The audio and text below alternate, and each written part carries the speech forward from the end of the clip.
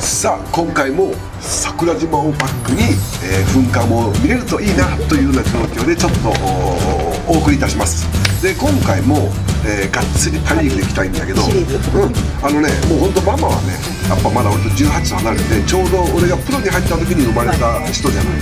だからプロ野球のこともわからないしで俺も俺の18上とかさ10ぐらい上のとか一回りぐらい上はねなんとなくわかるのよでも20年以上前とか30年以上前になってくると俺もやっぱ分かんないんだよね。でねあのー俺ねほらまあがっつりパ・リーグ言ってるけど、今ちょっと堀内さんいるねああもう堀内さんはセントラル巨人なんだけどあの堀内さんってさ第1回目のドラフト会議の選手なの。うんうんうん。だからそれもねやっぱね俺は堀内さんと話してるから知ってることであって、でねあのーまあパ・リーグとセ・リーグにまあ分かれて、まあ、ドラフト制度があってそこら辺で、まあ、あのドラフト第1期生っていうんだけどでねこのプロの世界っていうのはあのみんみあの俺はほらプロ野球の世界じゃない、でもママほら一般の社会も経験してるよね。あの一般社会もじゃなくて一般の社会しか社会。いやいやほら水泳のほら。いやでもほらそれも一般社会だから。さプロとかアマチュアだから。体育会系じゃない、うん体育会。で、あのー一つ聞きたいのが、会社ってさ、例えば18から入った人がいて、うんうん3年ぐらいやって、うん。えー21になって22の人が新人で入ってきたら、うんうんどっちが年上なの？どっちが上なの？いやもうそれはほらあの仕事も含めて高卒で入った方ってことだよね要するにね、うんうん。うんうんうん。仕事から言えばもう先輩は先輩よねやっぱり。社歴が長いの。だ職からだからうん年下でも先輩は先輩なの、先輩は先輩でその時に1個年上の人にはどういう言葉の付け方するの？それはもちろん敬語なんだけどさ、うんうん。後から入ってきた人がいたとしても、うん。やっぱり私はね体育系だから、うん。やっぱり年上の人には敬語使うからさ。あのね野球界ってねあの毎年さ、ほら高校卒とかうん。大,、大学卒とか社会人とかさ、うんあるよね。ね、そういうところから入ってくるじゃない、うん。だからね年齢ってわからないんだよ、うんそうだよね。うん、でねあの同じパ・リーグでね、今ねソフトバンクにいるんじゃないかな、小川博っていうのがいる。あのね南海ホークスにいたんだよ。うん。で俺西宮球場で試合やってる時にショートに小川っていう選手がいてさ、あのマネージャーにね聞いたのよ。年齢いくつぐらい？って聞いたのよ。そしたらね西武からトレードって来たのよ。ね、でほら俺がその聞くぐらいだから、でその西武からトレードって昔ってねそんなにトレードってなかったんだよ、うん。でトレードにしてくるぐらいだからもう多分もう10年近くやっててうんトレード来たんだなと思ったから、俺もうてっきり年上だと思ったんだよね、でヒット打つたんびにさ、うん。ランナーセカンド行ってショート守ってるから「松おはよう」って声かけられるわけよ、そうするとさ先輩だと思ってるからさ「うんあおはようございます」って言うわけよ、はい。ほんで「よく打つね」ってこうやったら「いやたまたまですよ」ってずっと言ってたのよ俺。で1年間ぐらいねもうとにかくその小川博がね話しかけるとね全部敬語、はい。もう全部「おはようございます」とか「ありがとうございます」とかって言ってたの。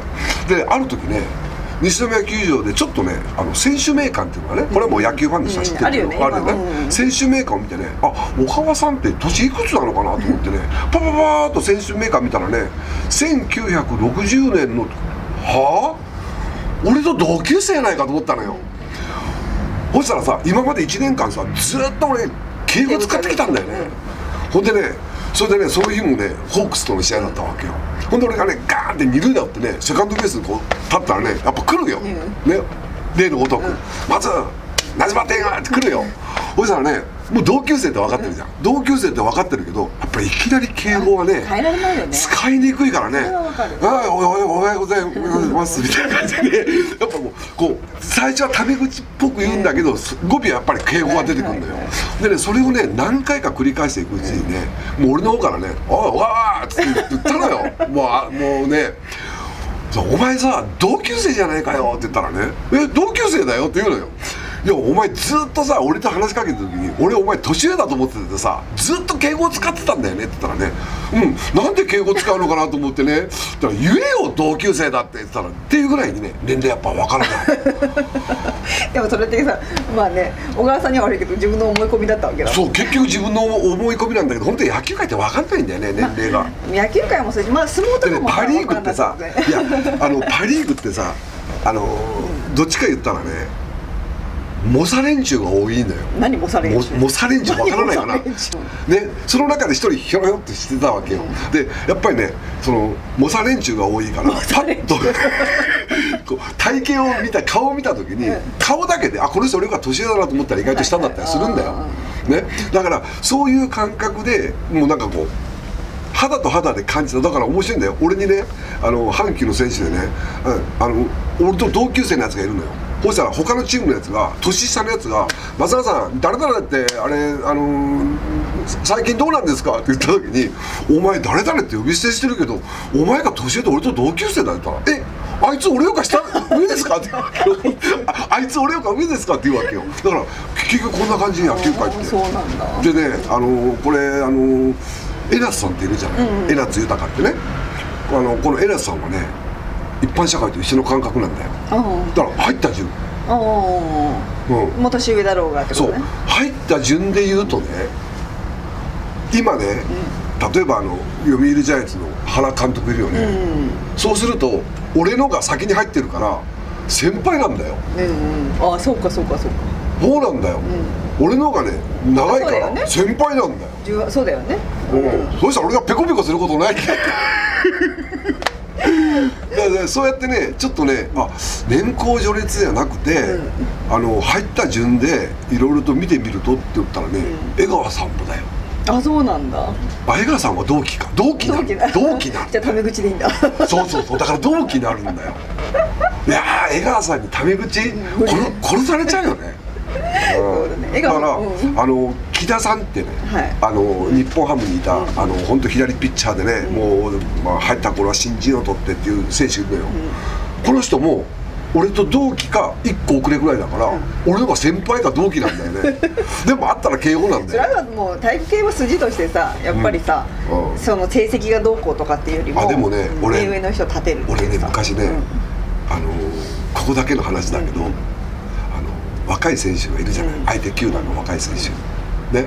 で年上の人がいるじゃない、その球団のベテランの人、で俺はその人よりも下なんだよ、下なんだけど俺の方が成績が上の場合とか、こう大体でいる時にね俺はチームの顔として負けられないと思ったから後輩がね「ああなんかあの誰々さんだ」から「おおあいつか」って 俺もねちょっと呼び捨てしたことあるんだよ。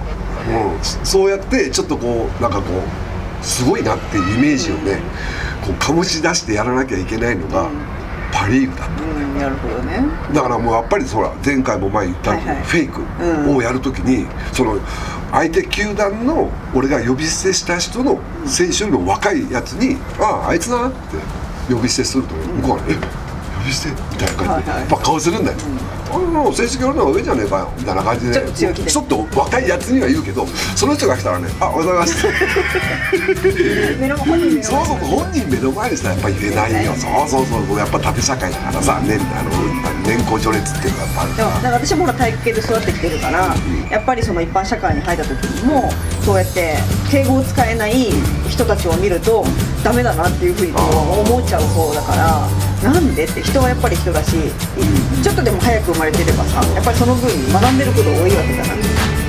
あのやっぱそういうところはねパ・リーグのねモサレンチ本当モサレンチって言葉知らないの？何回俺ねこうモサモサモサレンチ